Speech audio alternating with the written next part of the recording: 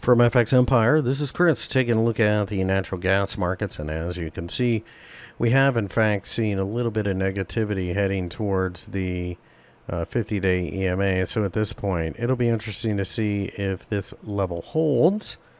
Um, and if it does, based upon a daily candlestick, let's say we get a hammer there, then I'll be willing to buy this market. Uh, I am placing my trades based upon a daily close. I'm not willing to try to front run it there's no point in doing that.